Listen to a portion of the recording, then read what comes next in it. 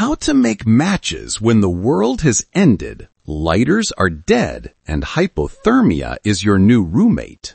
The convenience stores are ash. Your Bic ran dry three winters ago. The cold is creeping through your shelter like a patient predator, and that pile of damp kindling isn't lighting itself. No worries. We're making fire sticks from scratch. Step 1.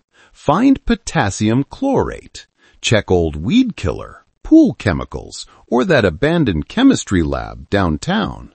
Mix it with sulfur from car batteries or matchbook strikers you've been hoarding like currency. Step 2. Grab wooden splinters, fence posts, furniture legs, whatever's left. Dip them in your chemical cocktail. Let them dry on a rusty sheet of metal. Step 3. Create a striking surface. Crush glass, mix with sand, glue it down with tree sap or melted plastic. The friction generates heat. The chemicals ignite. Potassium chlorate is an oxidizer. It loves giving oxygen to fuel combustion. Add sulfur as your fuel, friction as your catalyst, and chemistry does the rest.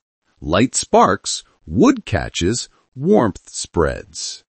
If it flickers to life, congrats. You just cheated death with high school chemistry.